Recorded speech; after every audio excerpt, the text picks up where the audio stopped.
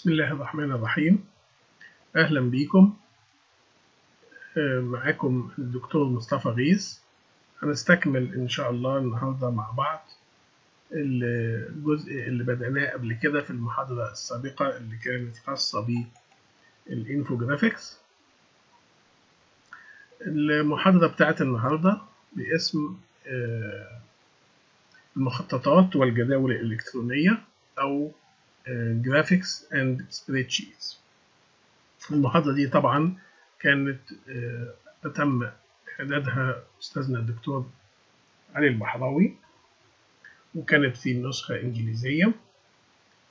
أنا علشان أتمشى مع اسم المادة وهو كتابة التقارير باللغة العربية فحبيت إن أنا أخلي العرض بتاعي باللغة العربية مع بعض المصطلحات الإنجليزية علشان نقدر نتعود على الاثنين. فعشان كده أنا أخدت العرض الإنجليش وعملت لي ترجمة وبعض التعديلات والإضافات علشان يكون في صورة مختلفة قليلا وتناسب أكثر من وجهة نظري هذه المحاضرة. طيب نبص على محتويات المحاضرة عبارة عن إيه؟ هنبدأ نتكلم مقدمة على ما يخص المخططات. طبعا إحنا هيبقى يعني أحيانا كلمة graphs أو graphics هنقولها مرة أو أحيانا هتقال رسومات واحيانا هتقال مخططات. دي موجودة ودي موجودة. يمكن هنا في المحتويات في الصفحة دي أنا مسميها رسومات لكن في الصفحات التالية يمكن نلاقي الكلمة الأكثر استخداما هي المخططات؟ فعندنا مقدمة وبعدين هنبص ما هي أهم المصطلحات اللي خاصة باستخدام أو اللي بتستخدم في الرسومات أو الجرافيكس. وبعدين لماذا ومتى تستخدم المخططات؟ وبعدين علاقة الرسومات وجداول البيانات. ثم هنتطرق إلى أهم الأنواع الشائعة من المخططات.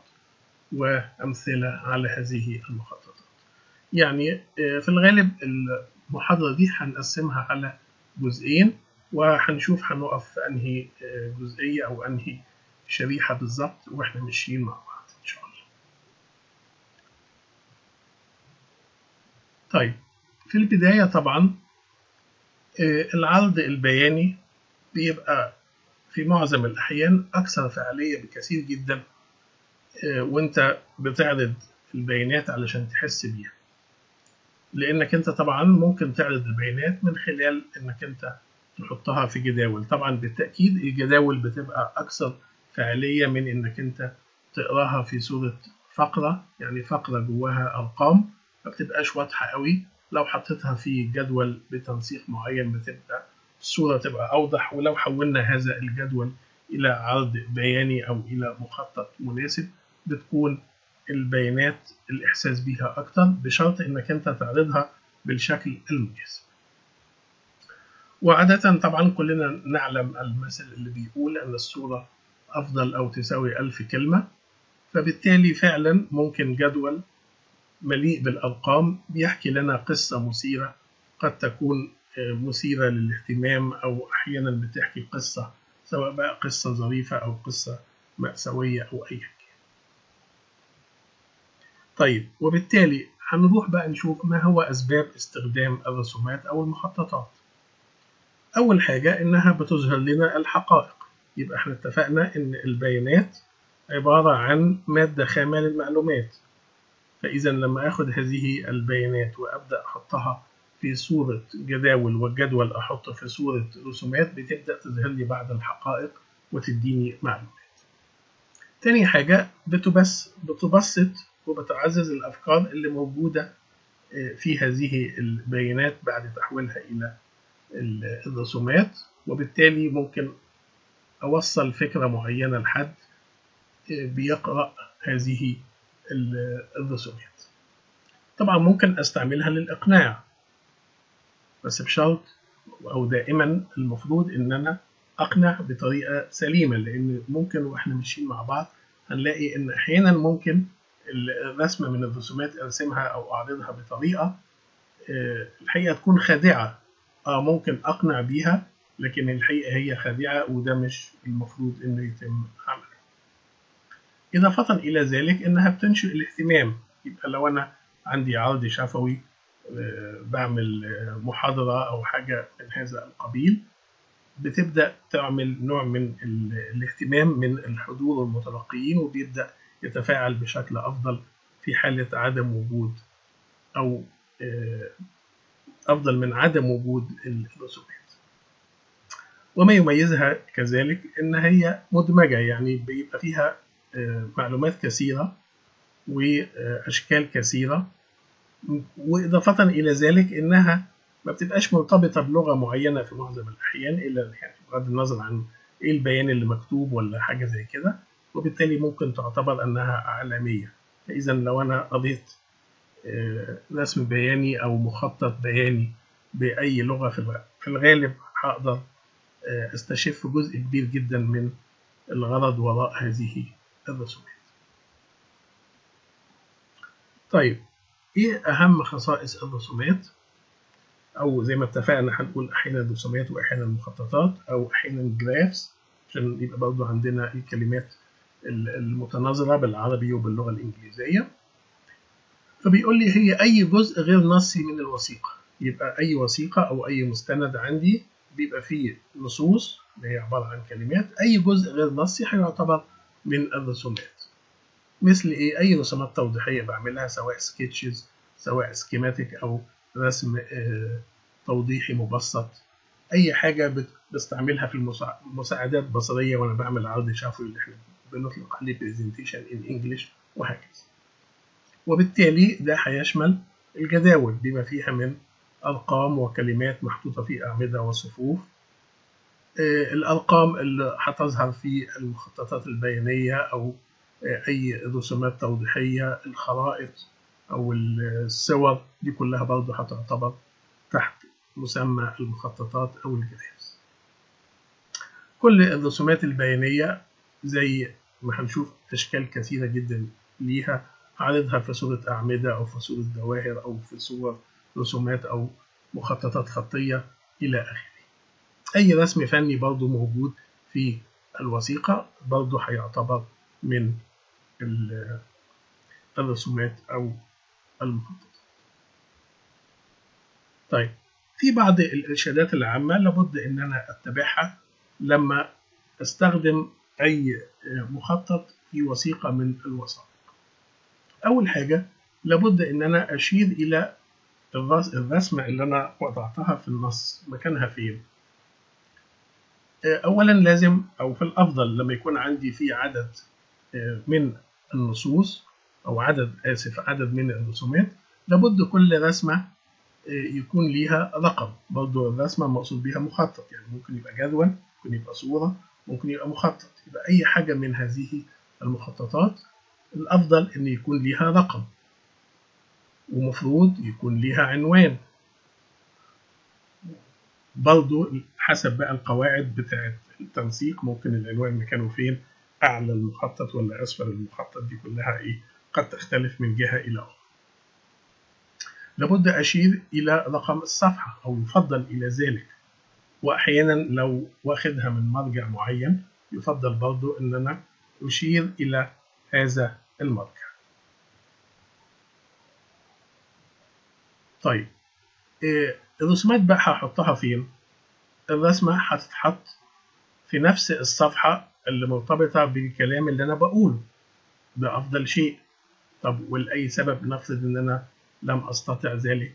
يبقى أفضل حاجة إن أنا أحطها في الصفحة التالية للكلام اللي مرتبط بهذه أو بهذا المخطط طب أحيانا بطبع على صفحات وش وظهر يبقى أحطها في هذه الحالة على الصفحة المواجهة لو ما كانتش في الصفحة نفسها. أحيانا المستند بتاعي أو التقرير قد يكون هناك في ملاحق. بعض الناس هتفضل إن بعض المخططات وخاصة إذا كانت كثيرة أحط مثال منها في المستند الرئيس وبحط الباقي في بعض الملاحق. طيب لما أجي أحط بقى المخطط داخل الصفحة يفضل إن يكون في اتجاه رأسي اللي هو بنسميه بورتريه طيب أحيانا لما أجي أحطه في وضع رأسي مش هيظهر التفاصيل بتاعة الرسمة أو حتى بتاعة الجدول. ففي هذه الحالة ممكن أحطه في وضع أفقي اللي إحنا بنسميه لاندسكيب طب في هذه الحالة أحطه في أنهي اتجاه؟ لو التقرير بتاعي باللغة العربية يبقى هلف الرسمة بتاعتي أو المخطط في اتجاه عكس عكس عقارب الساعة. لو التقرير إنجليش يبقى هلف الرسمة بتاعتي في اتجاه عقارب الساعة. ده يبقى في الغالب أريح في القراءة بتاعة هذا المخطط. يجب وأنا بعمل أي مخطط إن أنا أتجنب الفوضى. ما يبقاش الرسم البياني أو أيا كان اللي أنا بعمله. في فوضى كثيرة في معلومات ملهاش لازمة في ألوان متداخلة ما هوش مريح. يبقى كل ده لابد إن أنا أخده في الاعتبار طبعا لابد إن أنا أوفر معلومات توضيحية. العناوين زي ما اتفقنا إذا كان في ملاحظات مكملة لهذه الرسمة أو المخطط إذا كان في أكتر من حاجة محتاجة تحط نحط مفاتيح أو اللي بنسميها ال keys أو ال legend.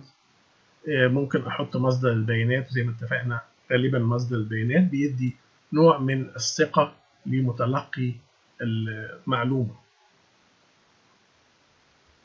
طيب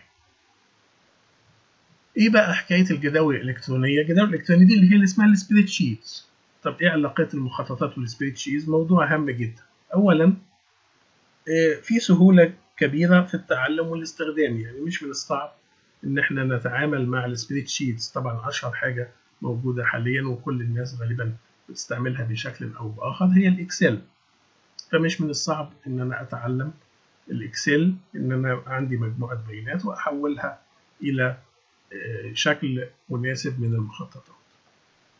الميزة اللي موجودة إن الحسابات والرسومات البيانية في نفس المكان يعني عندي شيت بعمل فيه جدول وبختار الجدول وبعدين منه بروح بخطوات معينة أنشئ المخطط المناسب. يبقى الاتنين مع بعض في نفس الصفحة. أي تغيير أعمله في الجدول بتاع البيانات أقدر في نفس التوقيت تقريبا أشوف التغيير اللي هيحدث على طريقة العرض على الشاشة طيب بس ناخد بالنا برضو زي ما هنشوف بعد شوية وإحنا ماشيين إن هناك الكثير من الخيارات. طب وهو دي حاجة كويسة ولا حاجة وحشة؟ إيه الحقيقة؟ ممكن تبقى كده وممكن تبقى كده. وكثير من الأحيان بنسمع المثل اللي الناس بتقوله عاوز تحيره خيره. لما عندي خيارات كثيرة ربما ما بيبقاش من السهولة إن أنا أصل إلى أفضل شيء. لكن مع الخبرة ومع اتباع بعض القواعد اللي إحنا هنتكلم عليها مع بعض دلوقتي تقدر إنك أنت تصل إلى أفضل شيء. طبعا ناخد بالنا إن كثير من الحاجات اللي إحنا بنعرضها مع بعض دي بتبقى مجرد إرشادات. لكن أنت في النهاية أنت اللي هتوصل الرسالة. وطالما يعني هتوصل الرسالة بشكل سليم فأنت بتنقل شخصيتك. شخصيتك دي بتظهر في كتابة التقرير شخصيتك بتظهر في الرسم اللي انت اخترته في الألوان اللي انت اخترتها وهكذا. مهم جدا إن أنا قبل ما أبدأ أنفذ أي رسم بياني وطبعا قبل ما أنفذ أي حاجة إن أنا أفكر الأول وبعدين أنفذ. بعض الناس بتقول لي إيه مثلا؟ بيقول لي اقضي خمس دقائق مع البيانات. يبقى الأول أبص على البيانات أتأكد منها لو في حاجة ناقصة أرتبها في شكل مناسب قبل إجراء المخطط يبقى هقعد خمس دقايق مع البيانات قبل ما أجري الجراف ليه؟ بدل ما أفضل مثلا خمس ساعات في محاولة جعل المخطط متوافق مع اللي أنا عاوزه يبقى الأول أرتب نفسي وبعدين بعد ما أرتب وأحط التصور بتاعي أبدأ أنفذ هذا المخطط. طبعا مفيش مانع إن أنا أخد شكل معين وبعدين لاحقا ألاقي إنه غير مناسب وأغير فيه لكن ما يبقاش هو هذا الموضوع كل مرة. طيب إيه أنواع المخططات في إكسل؟ في حاجات كثيرة جدا هنشوف دلوقتي عددهم ممكن يكون قد إيه لكن دول ال ال الأنواع الرئيسة. في المخططات وتحت منها هيبقى في بعض الأنواع الفرعية وهنشوف دلوقتي ممكن يصل عددهم إلى كام. فعندنا مثلا أشهر حاجة هو الكولوم الكولوم تشارت أو المخطط العمودي. ويمكن أغلب الناس لما بتيجي يعمل أي graph أو بتيجي تبص في أي حاجة بتلاقي أول تفكير بيجي على باله على طول إنه يعمل column graph. آه ممكن يكون أحيانا صحيح لكن مش دائما. طيب في بعد كده إيه؟ في ال bar chart أو اللي هو المخطط الشريطي. في ال line chart أو المخططات الخطية. في ال XY scatter أو بنسميها المخططات المبعثرة. آه ورقم بقى 3 و4 قدام مني دول اللي هو الخطية والمبعثرة. كثير جدا من الناس ما بيعرفوش الفرق بينهم وممكن أحيانا يستعمل الخطية في غير محلها ويستعمل المبعثره أو الحقيقة ما بيبقاش عارف الفرق بينهم إيه. ودي هنشوفها مع بعض وإحنا ماشيين. ال XY scatter آه واحدة من الخيارات الفرعية فيها ما يسمى ال bubble chart أو مخطط الفقاعي.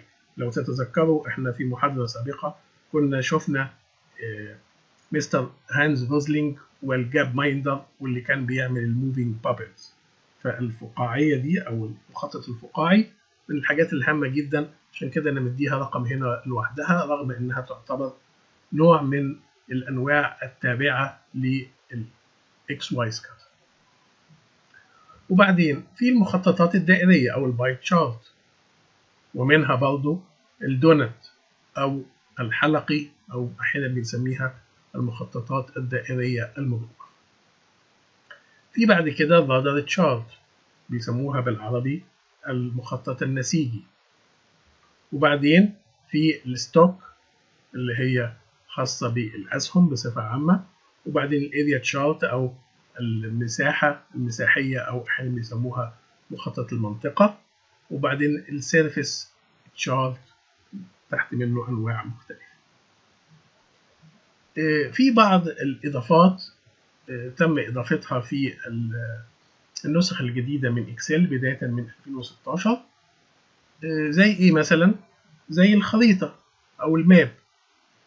في حاجة بنسميها ال treemap أو المخطط الشجري أو الشجرة. في ال sunburst أو الشمسية أنا أطلقت عليها اسم الشمسية. ال waterfall أو الشلال. ال funnel اللي هو القمعي. ال histogram كلنا طبعا عارفينه اللي هو المدرج التكراري. box and whisker ده برضه من الحاجات الظريفة جدا هنشوفها مع بعض لاحقا تستعمل بالذات في يعني الأمور اللي خاصة بالإحصاء يسموها إيه؟ الصندوق والشعيرات. وفي ال combo chart اللي هو بيبقى خليط ما بين أكتر من نوع من الأنواع اللي إحنا ذكرناها في هذه ال slide. طبعا في الغالب ممكن تكونوا عارفين جزء يعني لا بأس به من هذه المخططات لكن الهدف إن إحنا نبص عليها ونتذكر اللي إحنا فاكرينه ونعمل refresh ليه والأمور الجديدة نبص عليها مع بعض. طيب ال slide دي أو الشريحة دي من الشرائح الهامة جدا اللي هي بتقول لي إيه كيفية اختيار المخطط أو الرسم البياني الصحيح. دي اللي هي بتقول لي النقطة أو بتشير إلى النقطة اللي كنا بنتكلم عليها اللي هي خاصة ب فكر ثم نفذ. طيب بيقول لي الرسم. الرسم بياني عشان أعمله لازم أشوف البيانات اللي عندي إيه الهدف اللي أنا عاوز أوصله. هل عاوز أوصل أو البيانات اللي موجودة عندي تمثل إيه؟ تمثل مثلا الكل وأجزائه بنسميها whole and its parts أو parts of a whole يعني عندي حاجة كلية وأجزاء ليها وعاوز أعرضها. طب دي حالة.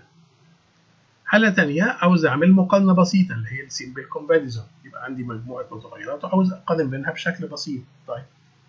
ماشي. عاوز أعمل مقارنة متعددة أو multiple comparison. يبقى دي نقطة أخرى. ربما عاوز أظهر علاقة بين متغيرات اللي بنسميها relation between variables. ربما عاوز أظهر trends. trends يعني إيه؟ اتجاهات سواء مع المسافة متغير بيتغير إزاي مع المسافة أو بيتغير إزاي إزاي مع الزمن أو مع الوقت؟ يبقى دي نسميها الترينز أو الاتجاهات. عاوز أشوف التكرار اللي هو frequencies. عندي حاجة ممكن تعرض في صورة تسلسل هرمي. hierarchy. أو عندي حاجة عاوز أعرضها في شكل مواقع جغرافية اللي هو geographic location.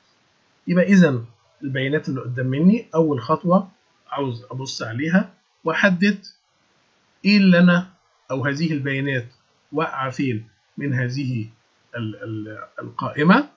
وبناء عليها بعد كده هنشوف كل نوع من دول ما هو الرسم البياني المناسب له. وبعد كده هيكون لك حرية الاختيار إنك أنت تبعث الرسالة اللي أنت عاوز توصلها باختيار المخطط المناسب. يبقى إذا نركز كثيرا ونحطها في ذهننا وإحنا بنختار التخطيط أو المخطط المناسب بناء على هذه النقاط. طيب يمكن تكلمنا أو تحدثنا يعني من دقائق على العلاقة ما بين المخططات وأجهزة الكمبيوتر. إنها وجود الحاسب الآلي بيوفر بدائل كثيرة وبسرعة. لكن زي ما اتفقنا أحيانا بيبقى فيه صعوبة في اختيار رسم بيادي عشان هناك البدائل الكثيرة وسرعة الإنشاء. لمجرد إنك أنت ما بتعمل ضغط على آيكون معين بيبدأ يروح راسم هذا الرسم بياني. لكن برضه أنا مش قلقان منه. ليه؟ لأن أنا ممكن برضه بطريقة سهلة إن أنا إيه أختار icon آخر وأقول له إيه change chart type. أو اغير نوع هذا المخطط طيب عاوزين بقى نشوف نشرح الرسم البياني ال anatomy of graph هيبقى فيه أنواع وأنواع فرعية وأنواع مخصصة. يبقى في عندي types و sub types وكاستم تايبس يعني كل نوع من الانواع اللي شفناه دول هيبقى فيه نوع رئيس تحت منه بعض الأنواع أو ربما يكون فيه الانواع الفرعيه وربما أنواع مخصصة. وبعد كده لما نيجي نحط هذه البيانات هيبقى في عندي حاجة بنسميها categories values and series categories اللي هي الفئات. وغالبا الفئات دي هتبقى على ال horizontal axis أو المحور الأفقي لكن مش دائما لأن أحيانا هيبقى في اختلاف وهنشوفها مع بعض. لكن مهم قوي إن أنا أعرف ما هي الفئات أو ما هي ال categories اللي هو المتغير الرئيسي اللي موجود على المحور الافقي وبعدين values أو القيم اللي هي هتبقى تمثل على المحور الرأسي أو ال vertical axis وبعدين في عندي السلاسل أو متسلسلات اللي هي ال series لأن ربما أحيانا يكون عندي أكتر من متسلسلة عاوز اعرضها يبقى إذا أي graph لازم هيبقى فيه category و value أو values يبقى عندي فئات وقيم. ربما يكون في series ربما يكون في متسلسلات أو ربما يكون متسلسلة واحد. طيب برضو الرسم البياني هيبقى فيه titles اللي هي العناوين بتاعة الرسم البياني. في axes اللي هي المحاور الأفقية والرأسية وربما يكون في محور آه عمودي اللي هو في العمق لو في تمثيل ثلاثي الأبعاد. في grid lines أو خطوط الشبكة. legend اللي هي وسائل الإيضاح. data labels تسميات البيانات. data table إن أنا ممكن أحط البيان وأحطه في صورة أو البيانات وأحطها في جدول. يبقى ده التشريح بتاع أي رسم بياني ومهم إن أنا أعرف هذه المصطلحات. وأنا فضلت إن أنا أحطها باللغة العربية والإنجليزية على حسب أنت هتستعمل أنهي برنامج أثناء إعداد المخططات. طيب مثلا دي صورة متاخدة عند إنشاء أحد الرسومات البيانية دي كانت ربما تكون متاخدة من إكسل version أقل شوية من 2016 لكن حتى في ال versions الأحدث هي نفس المكونات ربما التوزيع يكون مختلف شوية. إذا زي ما إحنا شفنا هنا في ال standard types اللي هي الأنواع الرئيسية أو القياسية وال custom types اللي هي الأنواع المخصصة. وأدي ال chart types اللي إحنا اتكلمنا على بعضهم. ال column ال bar ال line pie chart XY scatter ال area ال doughnut radar surface bubbles وهكذا. في طبعا هنا حاجات موجودة ومجرد إنك أنت ما بتختار أي type من دول بيبدأ يظهر ال sub type يبقى هنا في ال column أدي عندي 1 2 3 4 5 6 7 sub types يبقى إذا ده مثال. أي واحد من دول ربما برضه نلاقي تحت منهم بعض ال sub types وربما اوري لكم بعد شوية يعني زي إحصائية بال types الموجودة لكل واحد طيب اخترت ال type اللي هو أو ال sub type اللي هو قال لي اعداد البيانات بهذه الصورة. أدي بقى اللي هو التشريح اللي إحنا اتكلمنا عليه ال titles. هيبقى عندي فيه ال chart title أو عنوان المخطط. وبعدين أدي ال category اللي هي إكس اكسس هتبقى موجودة على محور X هنا ال categories بتاعتي هنا اللي هي السنوات.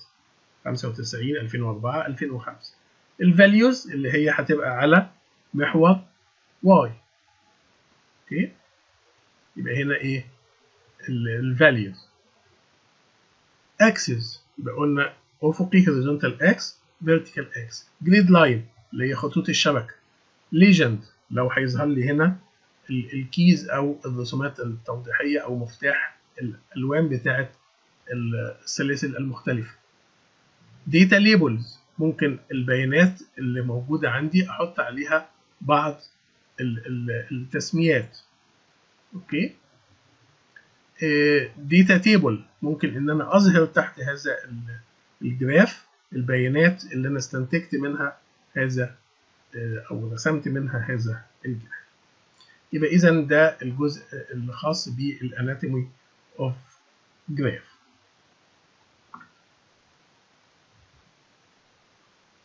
بعض الأمثلة خلينا سريعا كده نروح بشكل مبدئي على الأمثلة اللي ممكن تكون موجودة اللي إحنا ذكرنا أسمائها في الشرائح السابقة. ده مثلا إيه؟ ده مثلا الشكل بتاع المخطط العمودي أو الأعمدة. ولو بصينا هنا هنسميه لقينا كلمة إيه؟ clustered column وأدي هنا شكلين قد يكونوا يمكن استخدامهم. يبقى وانت بتختار الشكل اللي هتنفذه بيعرض عندي شكلين وتقدر تختار ما هو المناسب. وهنا دي ال sub types اللي موجود خد بالك هنا لو بصينا على ال ال ال window المفتوحة قدام مني بتلاقي فيه tab اسمه recommended charts وهنا فيه all charts. فانت هو الإكسل تلقائيا. لما بتختار بعض البيانات وتكون حاططها بصورة ما هو ممكن إنه يعمل recommendation لنوع معين من المخططات أو يوصيك إنه يعمل كذا. ممكن واحد يروح على طول ويختار من ال recommended chart أو هو في ذهنه بعد ما قرأ البيانات وعرف إيه الرسالة اللي عاوز يوصلها يوصلها إزاي يروح لـ all charts ويبدأ يختار من هذه المجموعة. أوكي؟ طيب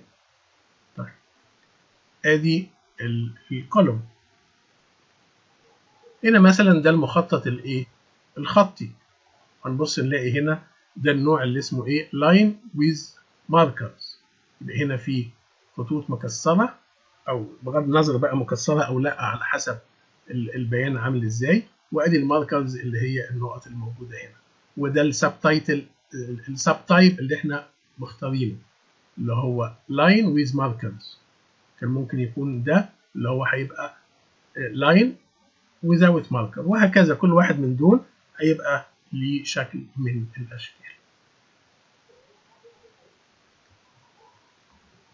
طيب ده مثلا إيه؟ اللي هو المخطط الدائري اللي هو ال pie chart في منه ال pie chart اللي هو ال 2D في ال 3D perspective وممكن اللي أنا آخد منه جزء علشان أعمل عليه zoom أو برضه بنفس الطريقة بس أخلي الجزء اللي أنا اخترته هيبقى في شكل مستطيل. وتحت منه اللي هو سميناه ال doughnut shape أو الحلقي أو المخطط الدائري المجوف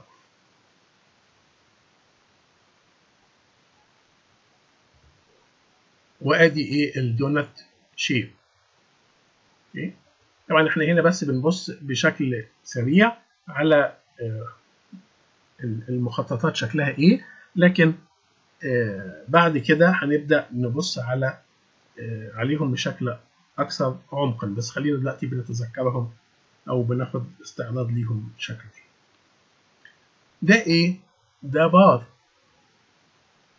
إيه الفرق بينه وبين الكولوم مفيش فرق الحقيقة وكل الحكاية إن ال categories بقت على محور Y وال values بقت على محور X أو ال horizontal axis يبقى هنا. دي كده هنا بقت ال vertical axis بقى عليه ال category وعلى ال horizontal axis بقى عليه ال values طبعا هنا في two series عشان في لونين قدام مني يبقى في سلسلتين.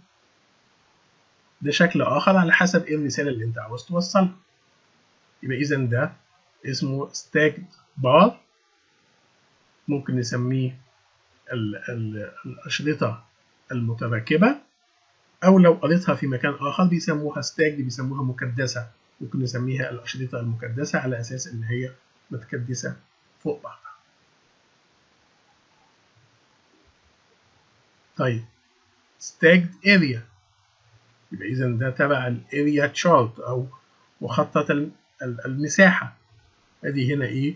مساحات فوق بعضها برضه. يبقى متراكبة فوق بعضها.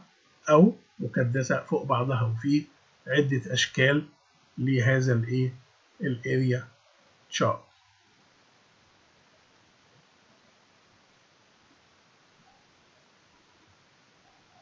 ده هنا إيه؟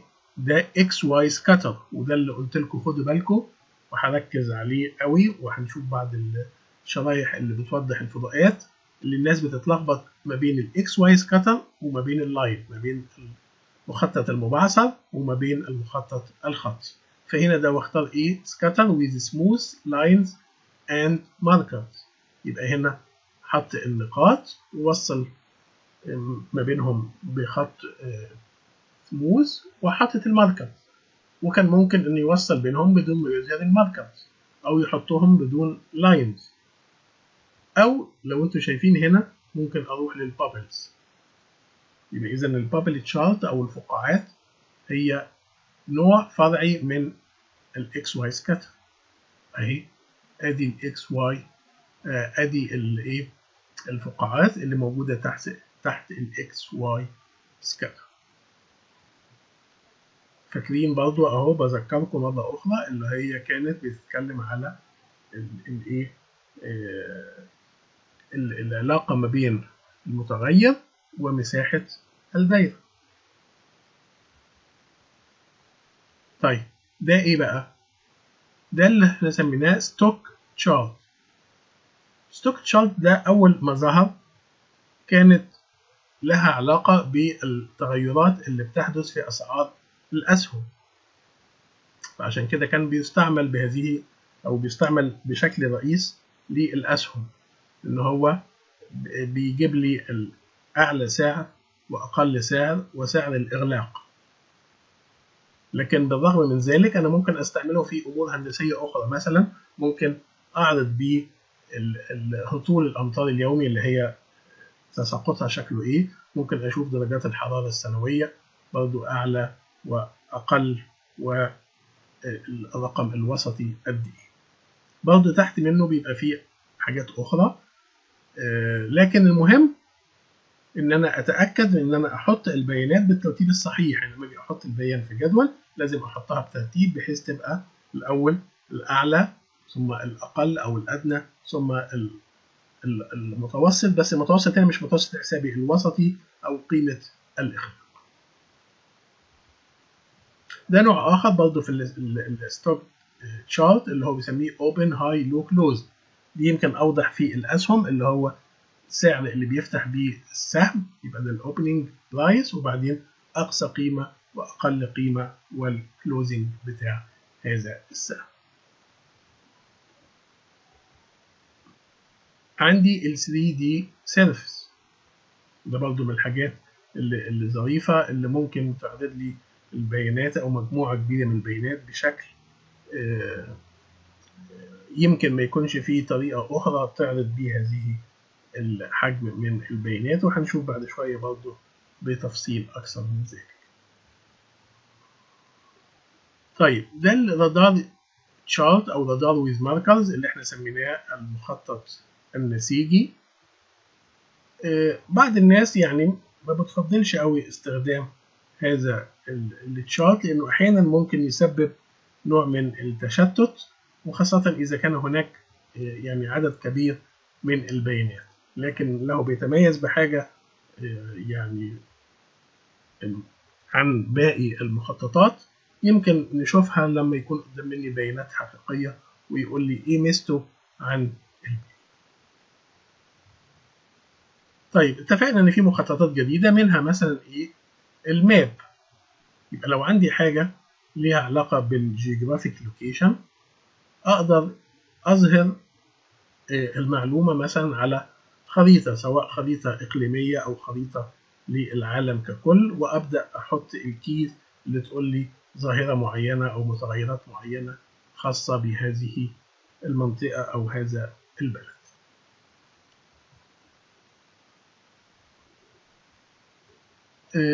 في عندي ما يسمى التري ماب اللي هو سميناه مخطط الشجرة. بيعمل إيه مخطط الشجرة ده؟ بيوفر طريقة عرض هرمية بس مش بشكل هرم. يعني عندي حاجة رئيسية وتحت منها مجموعة بيانات فرعية. فبيبدأ يوريني هذا الإيه التقسيمة ويوريهاني في شكل سهل أقدر أقارن ما بين الأجزاء المختلفة.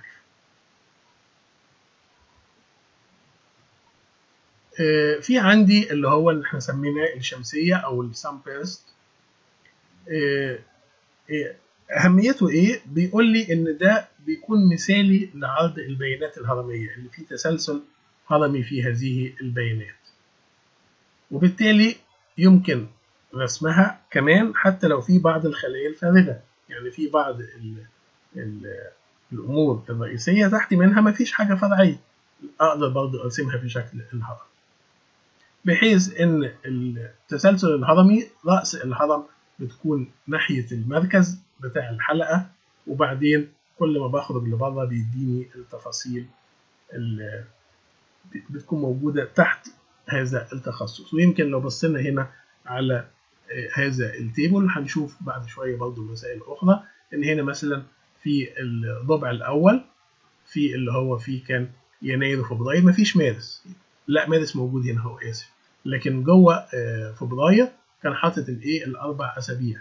لكن في جانيوري كان حاطط قيمة على بعضها كشهر ونفس الحكاية فين في مارس. وبعد كده في ال second quarter حاطط الثلاث شهور التالية وهكذا. فإذا ما فيش هنا إيه؟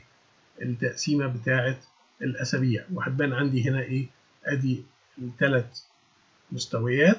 المستوى الأول اللي هو ال first quarter وال second quarter وهكذا. وبعدين المستوى الثاني اللي هو الأشهر. وبعدين المستوى الثالث لو موجود اللي هو الأسابيع. فإذا ده برضو من المخططات الجديدة اللي هنشوفها مع بعض. الهيستوجرام اللي سميناه المدرج التكراري الميزة بتاعته طبعا في التحليل الإحصائي إنه بيظهر البيانات المرسومة داخل توزيع معين وبيظهرها فيما يسمى البين أو السلة بحيث إن السلة دي بيبقى ليها يعني range معين من كذا إلى كذا كان التكرار بيمثل قد إيه. فإذا دي من الحاجات برضو اللي كلنا بنعملها من زمان لكن تقدر دلوقتي تنفذها بسهولة في الإيه ال Excel اللي هو بدءا من 2016 طيب ده اللي إحنا ذكرناه برضو في المقدمة بتاعة الكلام اللي هو سميناه ال box and whisker. أو الصندوق والشعيرات. طيب إيه النوع ده بيفيدني في إيه؟ الحقيقة يمكن مش هيظهر قوي إلا لما نبص على بعض البيانات لكن خلينا ناخد فكرة في هذا الجزء من المحاضرة إن هو بيقول لي إيه؟ ده بيظهر شكل التوزيع وقيمته المركزية وتباينه يعني القيمة المركزية يعني المتوسط مثلا بتاعه قد إيه أو الوسيط كام التباين يعني بيجيب لي أعلى قيمة وأقل قيمة وهكذا. فبالتالي ده بيكون حاجة مهمة جدا في عملية المقارنة في ما بين المتغيرات أو التغير المتغير الواحد ما بين كام وكام وممكن يتم ما بين أكتر من متغير. ده برضو من ال graphs الظريفة جدا اللي اسمه waterfall أو الشلال. بيبين لي إيه الشلال ده. بيبين لي أنت بادئ بقيمة معينة في البداية وبعدين بيبدأ يحدث زيادات وانخفاضات إلى أن تصل لنهاية فترة معينة. بتشوف أنت وصلت فين. يعني مثلا ممكن تبقى عندك خزان مية بادئ بحجم تخزين له قيمة معينة وبعدين جيت في الشهر القادم سحبت منه بقى فيه نقصان جه الشهر اللي بعديه جالي فيضان.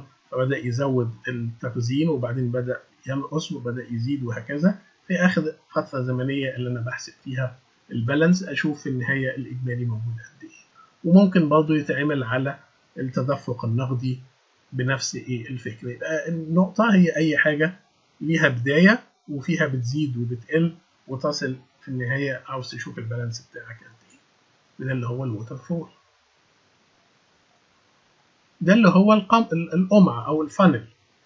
بيعمل لي إيه ال funnel chart ده هو بيعدد لي التغير اللي بيحدث في مراحل متعددة في عملية ما. okay؟ يعني عندي حاجة كانت بادئة بقيمة وبعدين بتبدأ تقل القيمة أخرى أو ربما ترجع تزيد ولا أيا كان. وبالتالي يمكن برضه استعماله في أمور كثيرة وهنشوف أمثلة يمكن تبقى أوضح من مجرد إن إحنا ناخد فكرة عن الكلام بدون بيانات اللي هو الفانل شارت.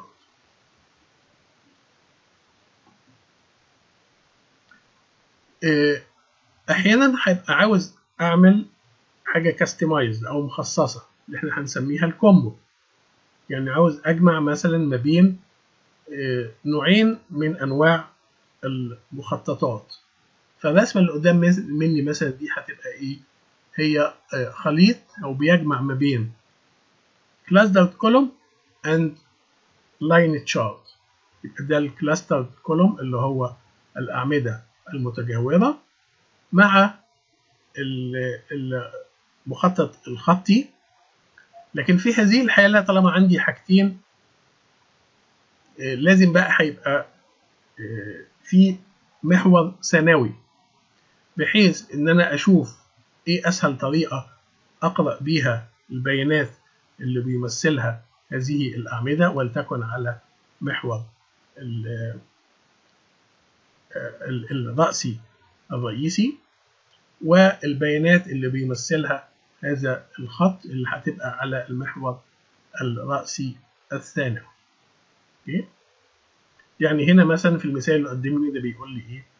ده بيقول لي إن ده الأعمدة دي بتمثل عدد العقارات المباعة ما بين يناير ويونيو ادي يناير فبراير مارس إبريل مايو يونيو وارتفاع العمود هقراه من هنا يمثل عدد العقارات اللي أنا بعتها إيه طيب وبعدين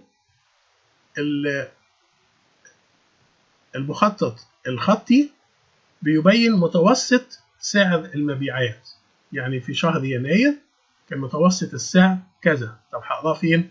هقراه بقى الناحية دي على ال secondary axis وفي شهر فبراير كان متوسط السعر كذا وهكذا. يبقى هنا بيوري لي شكله عامل إزاي. في بعض الاشتراطات لازم نشوفها في الاعتبار. قبل ما أروح أقول إن أنا هستعمل هذه ال combination أو الخلطة ما بين العمود والبيان أو المخطط الخطي طيب ده رسم بياني. ده اسمه إيه هذا الرسم؟ ده هيبقى أفقي أو شريطي اللي هو سميناه bar chart ده بيبين لي إيه؟ ده بيبين الأنواع المختلفة اللي موجودة في ال Excel. يبقى ده دي تعتبر ال categories اللي موجودة على المحور الرأسي أو الفئات وبعدين هنا دي آه القيم أو ال values موجودة هنا بقى في الحالة دي على الإيه المحور الأفقي وناخد بالنا هنا إن المحور الأفقي نقلته بدل ما كان بيبقى موجود آه تحت لا خليته فوق ليه؟ برضه زي ما اتفقنا آه ترجع ليك أنت عاوز توصل الرسالة بأنهي شكل. okay؟ يبقى اذا هنا بيقول لي مثلا ال column chart في تحت منه سبعة sub chart. ال line تحت منه سبعة وهكذا ال XY وبيبقى فيها ال bubble في تحت منها سبعة وهكذا.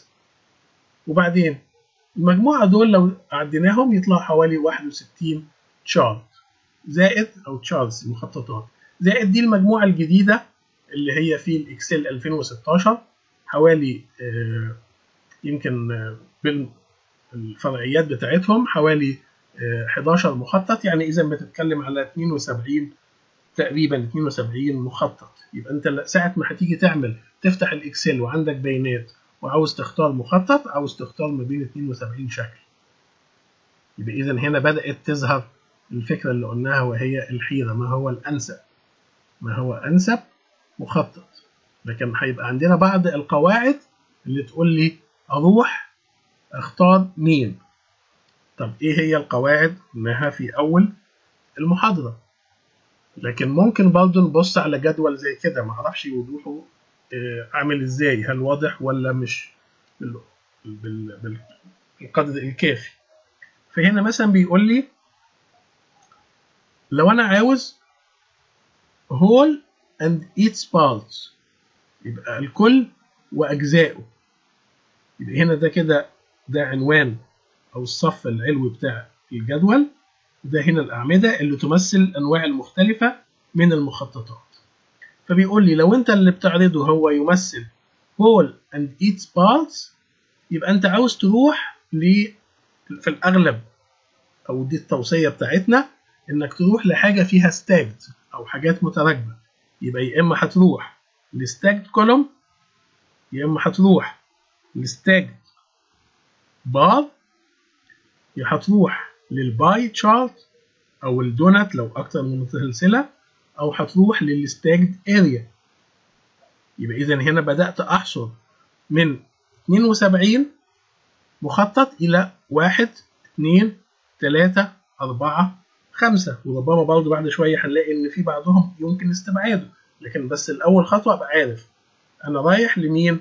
Whole and its parts. يبقى ال stacked, pie, area طب عاوز أروح ل simple comparison دي أسهل حاجة. يا هختار column يا هختار بار مين فيهم أمرها سهل؟ هنشوفها بعد شوية. عندي حاجة فيها hierarchy يبقى هروح يا إما لل tree map يا إما هروح لل sunburst أو اللي هي الشمسية. عندي حاجة فيها multiple comparison غالبا multiple comparison لازم هنروح لحاجة فيها clustered اللي هي حاجة متجاورة. يبقى يا إما هروح لل cluster column يا إما هروح لل cluster bar واحيانا ممكن أعمل combo cluster state اللي هو هنا. ممكن برضو أظهر ال multiple comparison عن طريق ال pie عن طريق الدونت وممكن في بعض الأحيان عن طريق الرادر يبقى أنا كده إيه برضو بتكلم في حوالي آه سبع آه أنواع من المخططات طيب trends اتجاهات. مع الوقت أو مع المسافة. يبقى يا line يا scatter طب مين فيهم؟ هنشوف بعد شوية. كل واحد فيهم ينفع مع مين. طيب relation between variables. دي واضحة ملهاش غير حاجة واحدة وهي ال scatter الله طب ما أنا ممكن أعملها line لأ مختلف. دي حاجة ودي حاجة. في بعض الناس بتغلط وزي ما اتفقنا بيخلطوا ما بين الاثنين وده مش كلام مش مظبوط. طب حاجة فيها geographic location سهلة قوي دي هنروح لل map. حاجة فيها statistics.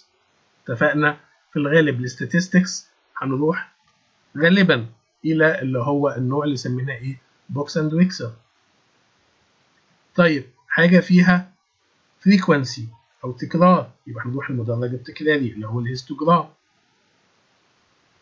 حاجة فيها أه مجموعة من المتغيرات. فيها متغيرات كثيرة. يمكن عاوز حاجة فيها يعني ثلاثية الأبعاد. ربما أروح إلى 3D surface أو ربما أروح إلى ال contour. okay؟ عاوز حاجة فيها تغير صعودا وهبوطا. مع الوقت زيادة ونقصان وهكذا. يبقى هروح للشلال. حاجات بقى ممكن تروح ل فيها اللي هي سماها process of multiple stages اللي هو في مراحل وفي تغيرات ممكن أروح إلى الفانل أو القمع يعني بالتالي دي كلها ال ال الأمور اللي أنا أحدد في الأول أنا فين وبعدين أبدأ أختار ما هو أنسب مجموعة من المخططات وبعدين أبدأ كمان أعمل تركيز أكتر و focus وأختار ما بين هذه المجموعات الفرعيه دي رسمه اهي طب الرسمه إيه ده عبارة عن إيه؟ وشكله عامل زي إيه؟ شكله عامل زي الشمسية. هي فعلا دي الشمسية أو اللي هي ال sunburst ادي هنا قايل لي التقسيمات اللي موجودة عندي اللي هي ال simple comparison أو بدأنا من هنا هو its part simple comparison frequencies multiple comparisons. Relation between variables trends hierarchy وهكذا. وبعدين كل واحد من دول أدي تغير إيه تسلسل هرمي هنروح من هنا هو its parts. يبقى عندي stacked column stacked bar أو pie أو donut shape. وهكذا simple comparison هروح لل column أو البار أو الرادر وهكذا. يبقى برضو هذه ال slide تمثيل مختلف شوية عن ال table ومين اللي أسهل هنا ولا هنا؟ عن رأيي إن ال graph ربما يكون أسهل من ال table زي ما ذكرنا من قبل لكن أحيانا هتبقى محتاج تحط البيانات في table وأحيانا تحتاج تحط ال graphs وبعض الناس بتفضل إنها تحط ده وده لأسباب مختلفة. طيب نيجي بعد كده لنقطة هامة جدا وهي ما هي أنواع البيانات؟ إيه السؤال الغريب ده؟ types of data يعني إيه؟ ممكن مثلا البيانات اللي عندي تبقى عبارة عن أسماء. عاوز أكتب قائمة أسماء بتاعت مجموعة من الناس. محمد ومصطفى ومحمود وهكذا. عاوز أكتب أسماء بلاد.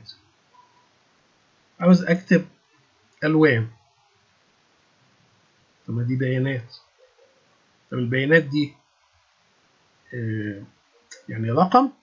لا مش رقم. دي بنسميها بيانات. اسمية بيسموها إيه؟ nominal data. طيب افرض أنت مثلا عاوز تسجل رضاءك عن شيء وليكن هنقول ما هي مقياس رضاءك عن هذه المحاضرة. هتقيسها إزاي؟ هقول لك ممكن تقول غير راضي راضي راضي جدا. يبقى هنا ده برضو بقى إيه؟ نوع آخر من البيان. إيه هل في اوردر أو في ترتيب؟ آه في ترتيب. زي مثلا برضو لما هتيجي تاخد تقدير معين التقدير هيبقى ممكن يكون إيه؟ ضعيف مقبول جيد جيد جدا ممتاز. فاذا ده نوع من البيانات له اوردر طيب بس دي هل هي أرقام؟ لا في الغالب هي مش أرقام هي بيانات نصية. طيب جيت بعد كده عاوز يعني أكتب بعض البيانات مثلا زي إيه؟ عاوز أسجل وزن عاوز أسجل درجة حرارة حاجة من هذا القبيل. طب دي أرقام؟ آه دي أرقام. دي بالتالي ممكن نسميها إيه؟ ممكن نسميها interval ليه interval نفكر كده مع بعض. درجة حرارة مثلا لو أنا هقيس درجة حرارة بالديجري سلسيوس اللي هي درجة الحرارة المئوية. هنقيسها بإيه؟ هنقيسها بمقياس حرارة.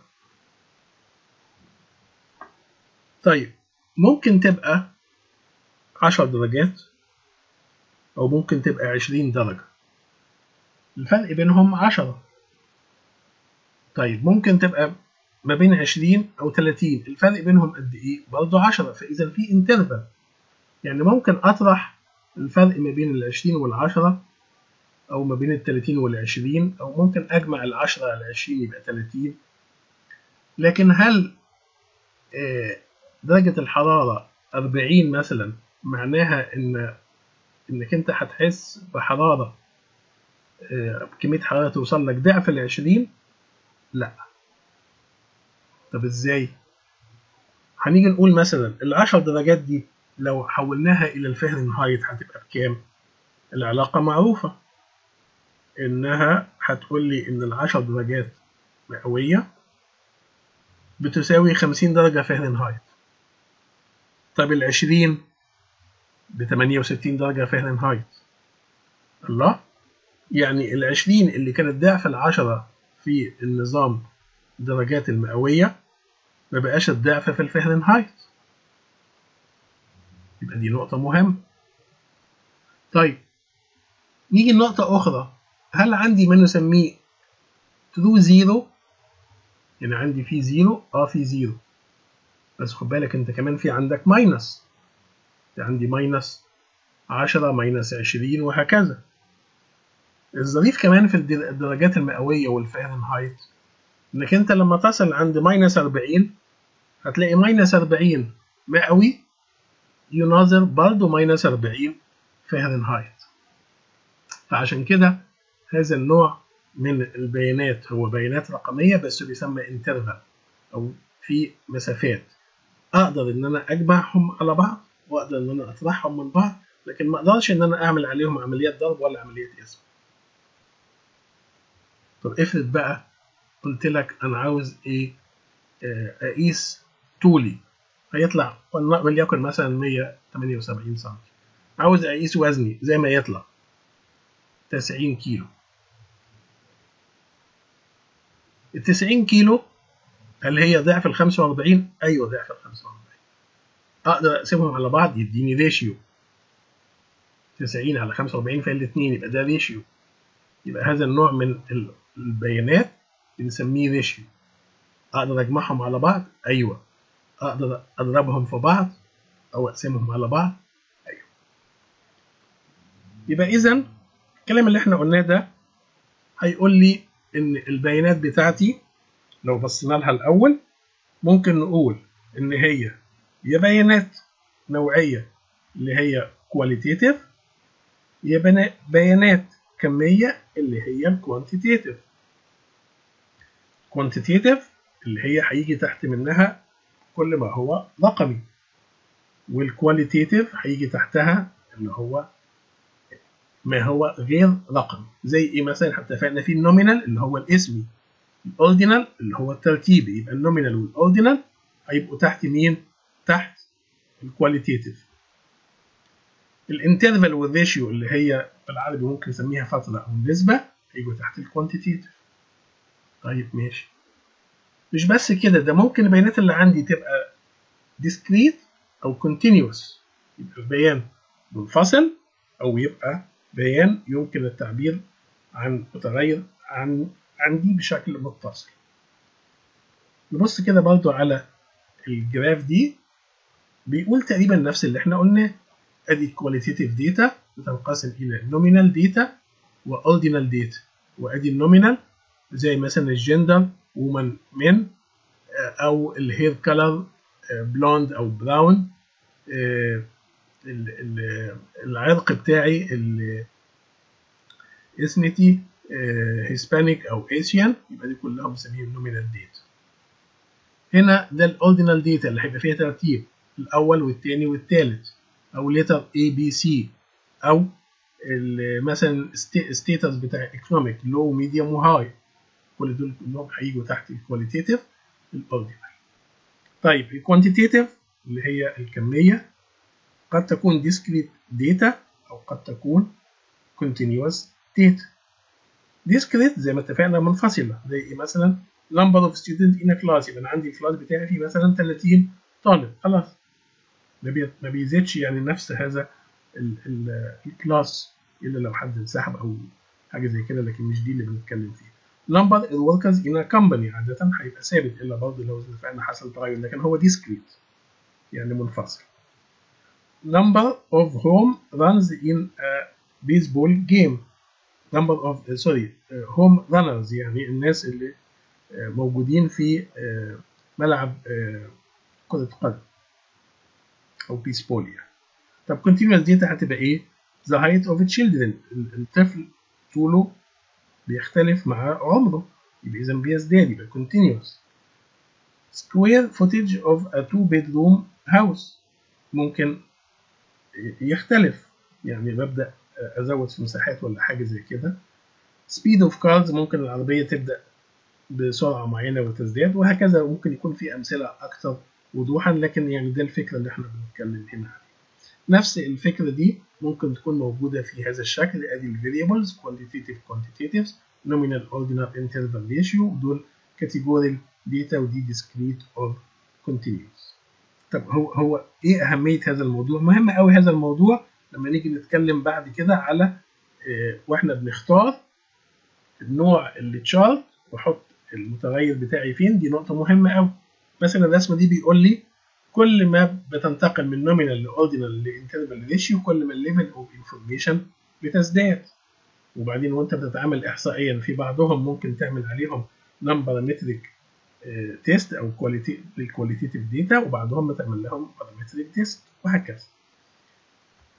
ال slide دي بيقول لي الخصائص بقى بتوع الأربعة الأساسيين اللي إحنا اتفقنا عليهم nominal ordinal interval ratio هنا مثلا من حيث أول حاجة هل في ترتيب معروف؟ ال nominal لا ملوش ترتيب لكن الثلاثه اللي قادمين تفاصيل بتزيد أقدر ال ordinal وال interval وال ratio اللي هم ترتيب. طيب أقدر أعدهم؟ كله أقدر أعدهم. طب ال mode ال mode اللي هو إيه؟ اللي هو الاكثر تكرارا. لما يكون في قائمة فيها بيانات أكثر تكرارا هو ال mode أو المنوال. آه كلهم أقدر أحسب لهم ال nonparametric nonparametric test ده هو اللي هو يقول لي المنوال بتاعهم قد إيه. طب ال median ال median اللي هو إيه؟ الوسيط. أقدر أعمله للأوردينال الاوردينال والإنترفال والريشيو لكن ما أقدرش أعمله لل nominal. طب ال mean اللي هو المتوسط؟ ما أقدرش اعمله لل ordinal لكن اعمله لل interval وال ratio. طيب أقدر احسب الفرق ما بين القيمتين أو اجمعهم على بعض؟ هنا في ال qualitative لا اللي هم في ال nominal وال ordinal لكن في ال interval وفي ال ratio آه. أقدر اضربهم أو اقسمهم على بعض؟ ما أقدرش إلا في ال ratio. مين اللي has true zero الوحيد هو مين؟ هو ال ratio. دي الرسمه بتقول لي المثال اللي إحنا كنا بنقوله إن أنا مثلا ده مقياس حرارة بيبدأ يقيس لي بال degree Celsius من ال zero بيقيس positive و negative يبقى اذا ده ليس true zero.